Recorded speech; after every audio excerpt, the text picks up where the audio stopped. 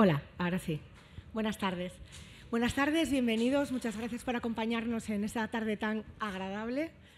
Eh, inauguramos el, ciclo del Aula de Cultura del Comercio de la Semana Negra con, que este año dedicamos a, eso que ahora se llama True Crime, pero que ha sido toda la vida eh, pues, eh, crímenes reales llevados a la literatura. ¿no? Tenemos con nosotros al autor de una historia que todos conocemos perfectamente o no tan perfectamente. Conocemos la historia de Asunta, la niña que apareció muerta en septiembre de 2013 en, Santiago de Compostela o cerca de Santiago de Compostela, sus padres detenidos, sus acusados y finalmente em, encarcelados por, su muerte, ¿no? por su asesinato. Eh, tenemos con nosotros a, a Mark Gastin, que es la única persona que entrevistó a Rosario Porto en la cárcel y autor de, este libro. Eh, si les presento a Margastin y les digo quién es y les cuento su biografía, estaríamos aquí hasta el domingo que viene, que se cierra la Semana Negra. De todas maneras, les voy a hacer, les voy a hacer unos apuntes. Mark nació en Leeds, Inglaterra, en 1964. Vive desde hace décadas en La Coruña, fue vecino también de Gijón. Eh, es profesor, es traductor, eh, habla una docena de idiomas eh, con absoluta fluidez, incluidas, incluidas lenguas muertas. Se licenció con 19 años en Filología Clásica por la Universidad de Manchester, doctorado en Historia Medieval por la Universidad de Londres y después por la de Oviedo. Ha presentado los expedientes X de la Antigüedad para National Geographic. Ha colaborado con Canal Historia para desentrañar la historia de Jesús de Nazaret. Es un experto, una eminencia en el sudario de Oviedo, que él no llama santo, porque Mark es un agnóstico confeso que solo tiene una religión.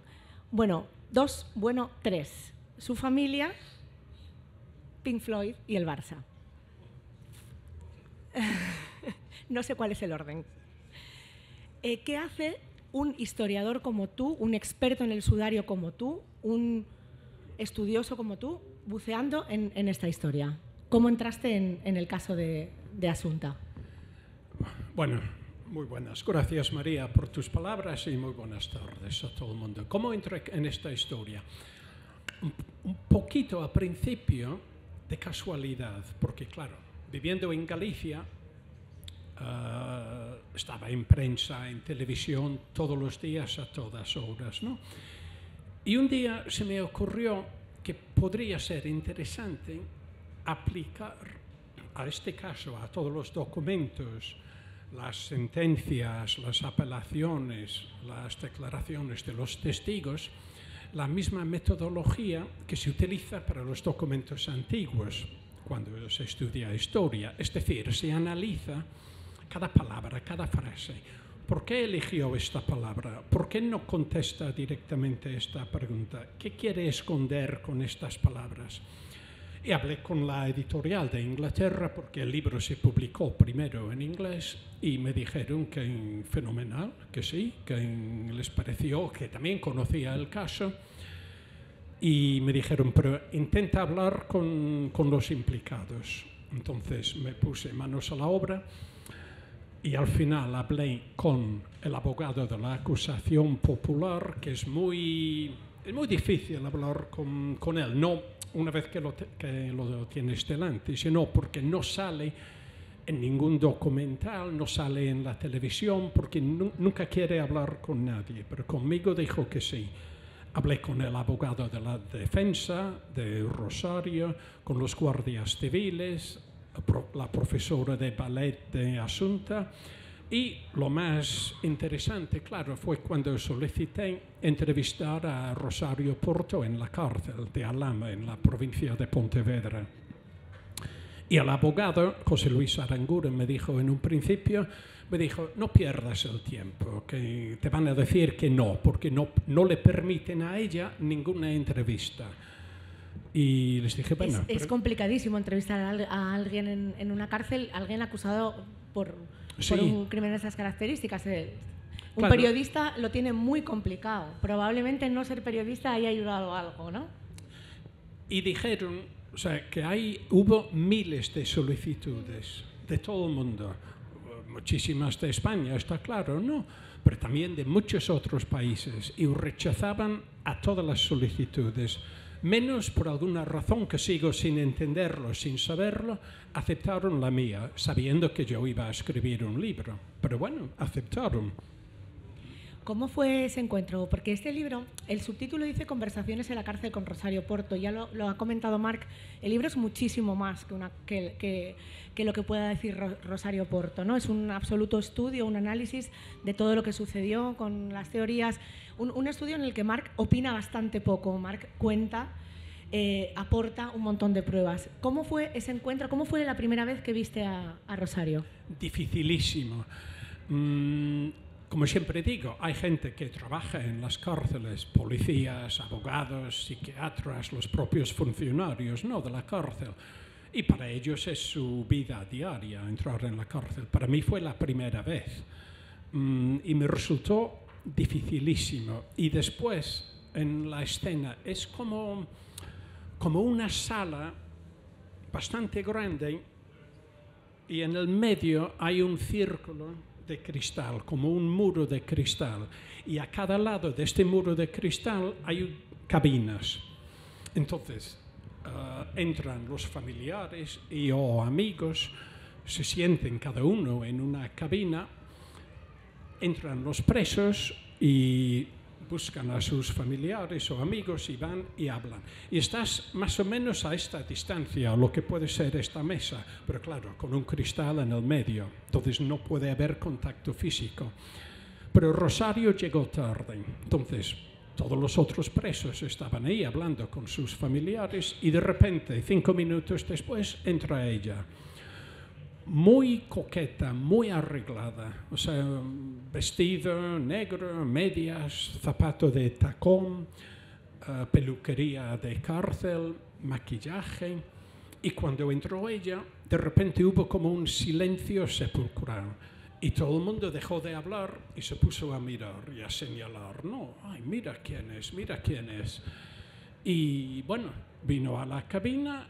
Mmm, al principio uh, hicimos un poco de conversación fácil, ¿no? Para romper el hielo. Y después entré en materia. Y en todas las sesiones que tuve con ella, uh, ¿cuál fue la impresión que llevé yo? Mm, una por la cual me han criticado mucho en ciertos periódicos, porque yo cuento que lo que vi fue una mujer deshecha, rota, derretida, sin ganas de vivir. Cuando la gente lo que quería que yo viera era un monstruo, una psicópata. Pero no, no es lo que vi. Yo vi eso, mm, lo cual no significa que fuera inocente. Pero mm, tú me haces la pregunta, yo te contesto. Esa fue la Rosario Porto que, que vi yo. Después de escribir este libro, ¿te queda alguna duda sobre la posible inocencia de los padres de, Asunta? Después de escribir el libro, me quedan más dudas que antes de, escribirlo. Mm, por cada pregunta que yo me hacía en el libro, surgían 10, 25 preguntas más. Ah, lo que más me impactó fue lo difícil y lo injusto que fue en este caso el sistema judicial. Ah, se condenaron los padres, fueron condenados 18 años, lo cual, si hicieron lo que se dice que hicieron, me parece poquísimo. 18 años, cuando se condenan a 4 o 5 años a la gente por un robo, un hurto asesinar a una niña siendo tu propia hija, 18 años me parece poquísimo. Pero hay tantísimos cabos sueltos que no interesaron ni en el juicio, ni a los abogados, ni mucho menos al, al juez instructor. O sea, hay tantos ejemplos que podría dar, pero por ejemplo, el juez instructor al principio dijo que era imprescindible y segurísimo que Alfonso Basterra también estuviera en la casa ayudando a matar y a llevar el cadáver de la niña. Después se dieron cuenta de que eso no tenían la más mínima prueba, con lo cual tuvieron que quitar ese detalle del, tanto del sumario como de la sentencia, de todo. Y le dijeron, pero entonces, ¿qué pasó con Alfonso? Y dijo, da igual, uh, no podemos decir que está, pues lo hizo ella sola. Y esto es uno de los muchos ejemplos de lo que pasó durante la fase de instrucción y el propio juicio. Datos que al principio salían que no encajaban con el relato oficial que querían, entonces caso omiso. Tú explicas que es absolutamente imposible que Rosario dejara el cadáver ella sola. Es imposible, o sea, era una mujer diminuta, no tendría la fuerza física, porque además se dice que la niña fue asesinada en el primer piso de la casa, pero el cuerpo nunca fue arrastrado, es decir, alguien cogió el cuerpo en brazos, lo metió en el coche, seguramente en, el maletero, con los movimientos que eso implica. Y lo mismo cuando llegaron a la pista forestal. Alguien tuvo que sacar el cuerpo sin arrastrarlo y colocarlo en, en ese sitio. Pero no es solo eso, es que hay un, un testigo que juró y con muy buenas razones, muy buenos motivos, que el cuerpo antes de la medianoche no estaba en esa pista forestal. Y en el juicio lo desestimaron, dijeron que no, se equivoca. ¿Por qué? Porque es muy contundente. Y en cambio, otra testigo, la que vio a Alfonso y, y a Asunta, supuestamente en la calle de Santiago, aceptaron su testimonio. ¿Por qué? Porque era muy contundente.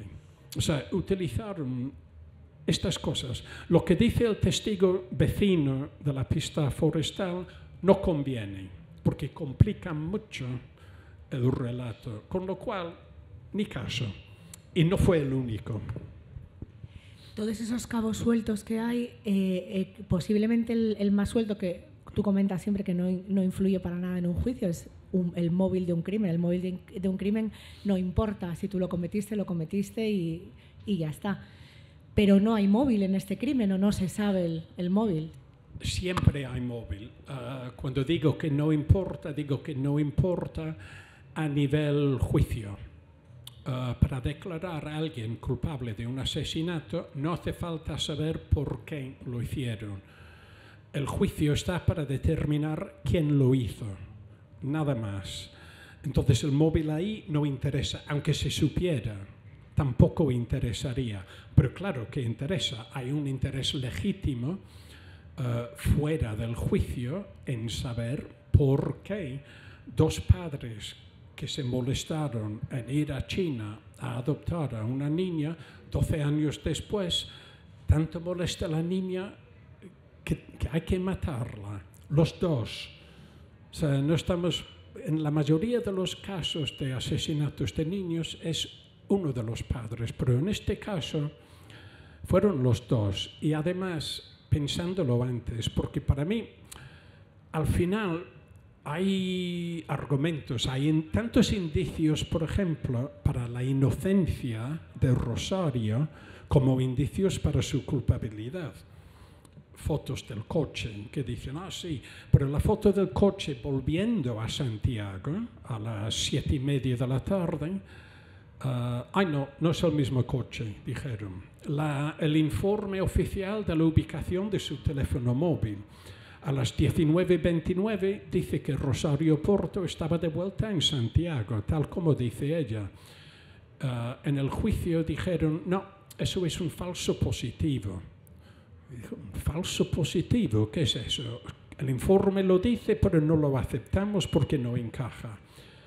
Otro testigo que fue a la Policía Nacional, no a la Guardia Civil, porque dijo que a esa hora había visto a Asunta en la calle sin ningún género de duda.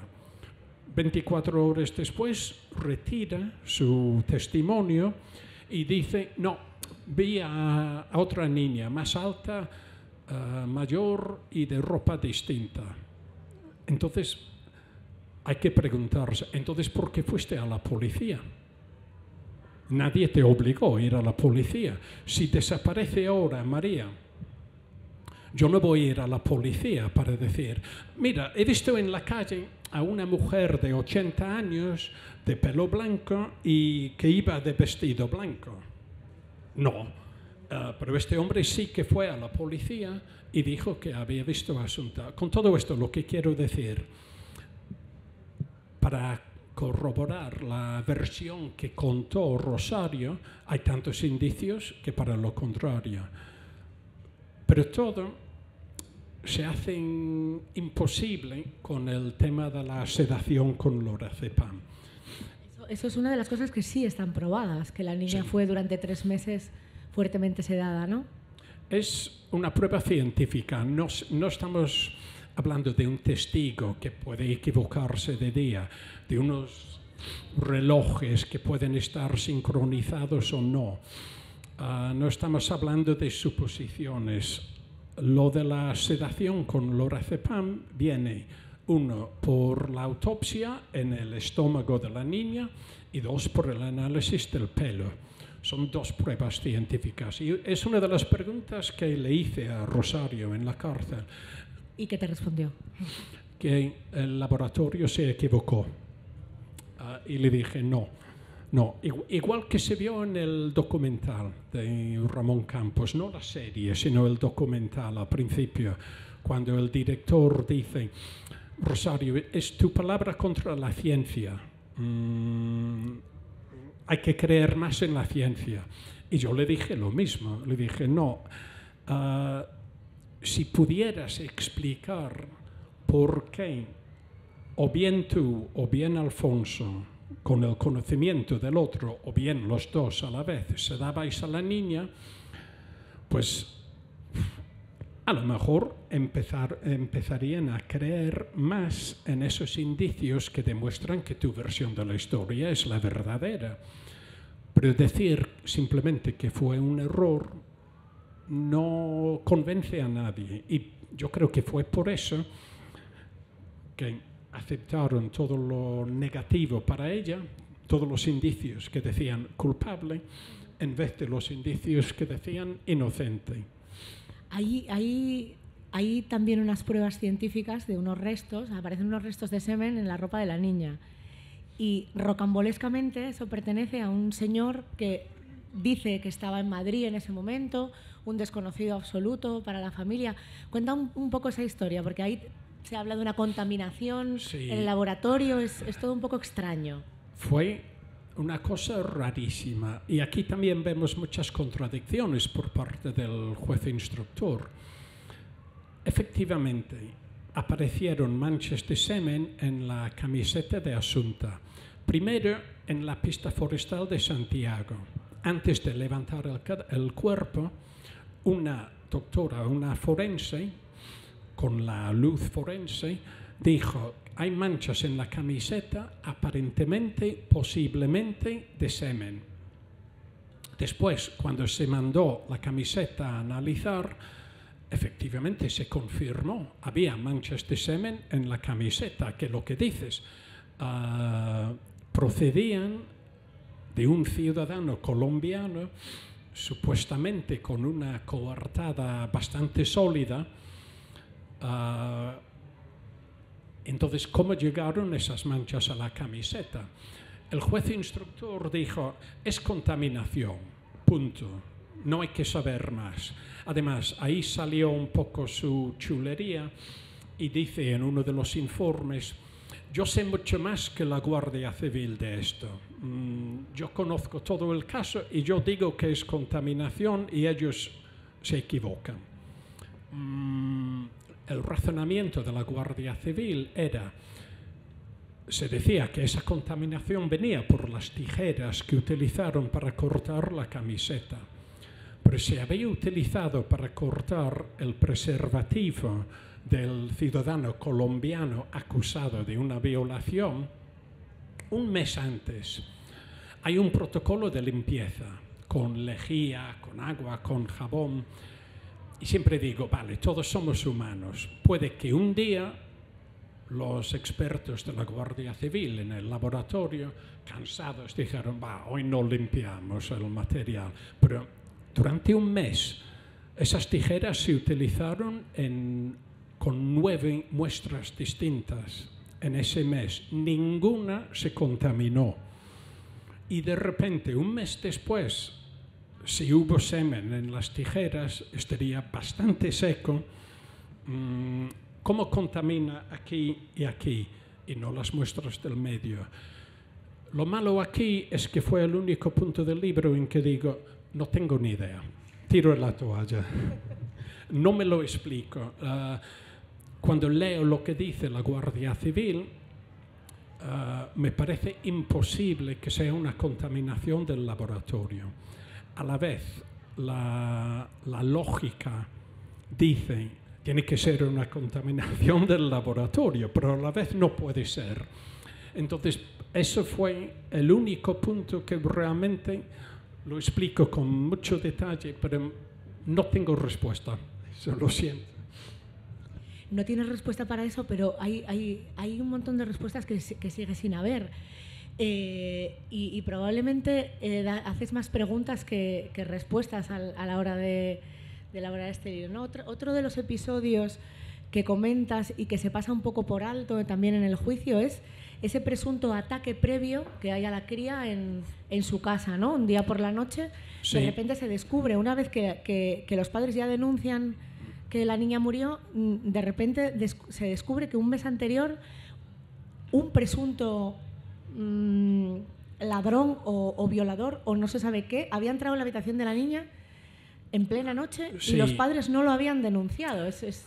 Es, es, una cosa también un poco rara, porque Rosario Porto era una mujer muy inteligente, no solo por ser abogada, era o sea, lista, inteligente. No me sorprende lo mal que lo hicieron, por ejemplo, con las cuerdas, con este episodio de la noche del 4 al 5 de julio de 2013 cuando supuestamente un, bueno, un intruso entró en casa, intentó asesinar a Asunta, Asunta se despertó, se puso a gritar y fue Rosario y dice que lo, lo empujó y él le empujó a ella y se escapó.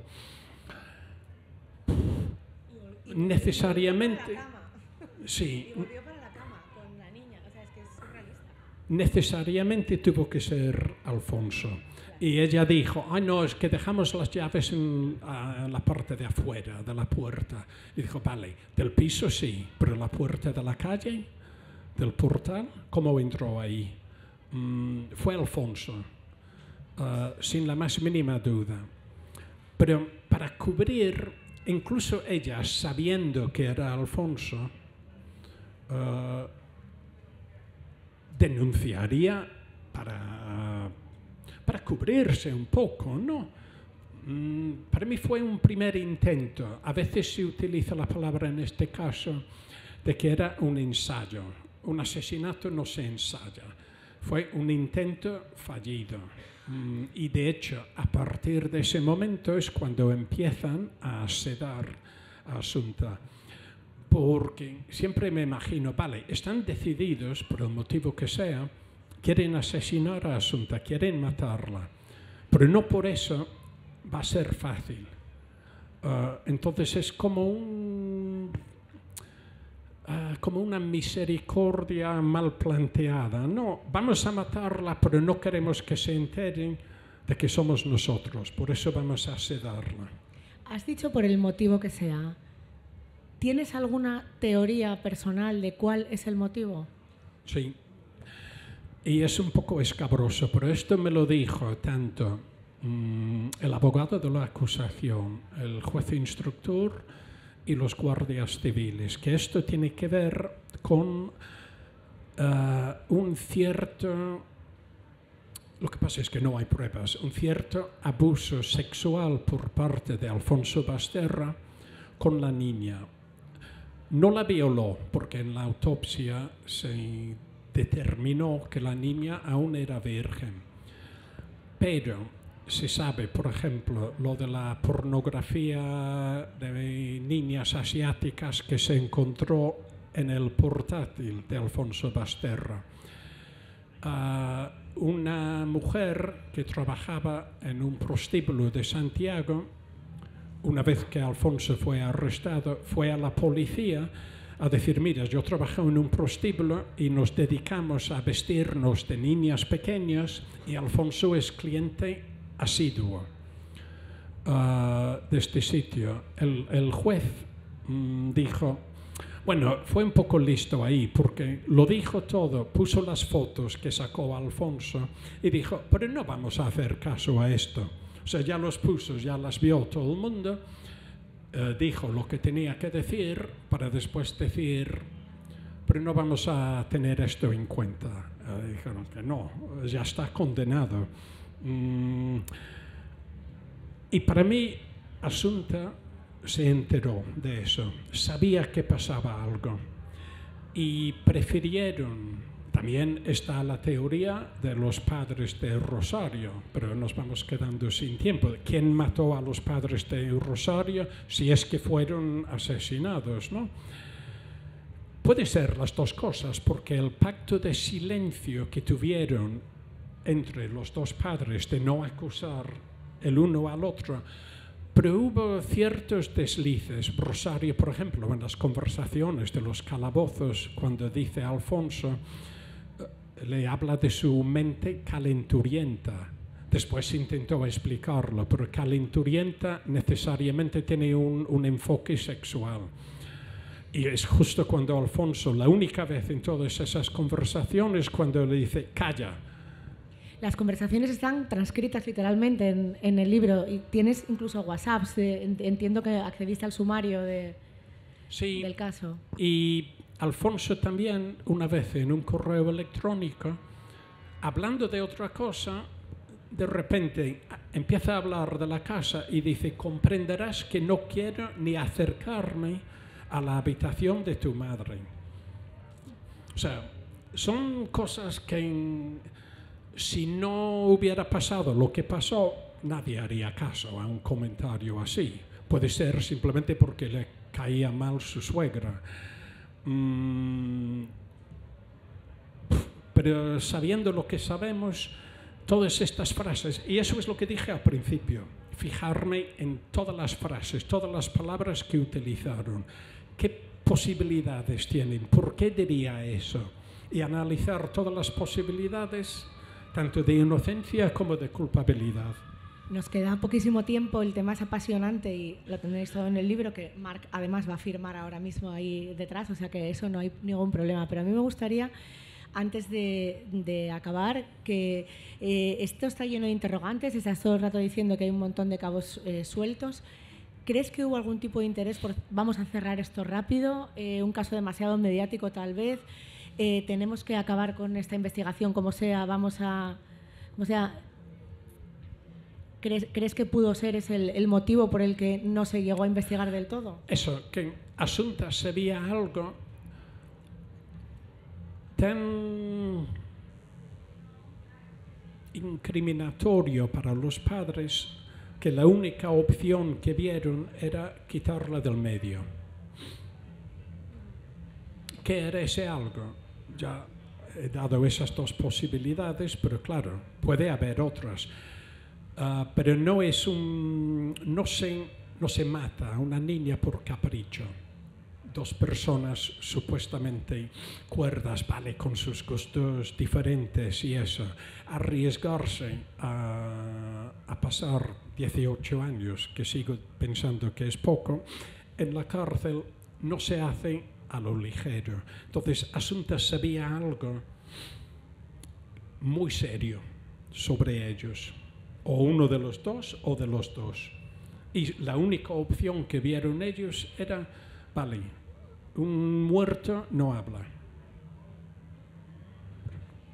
Un muerto no habla. Marc, sí, lo tenéis en el libro. Muchísimas gracias por acompañarnos. Gracias, Marc. Gracias ha sido a ti cortísimo, gracias pero a vosotros. un placer.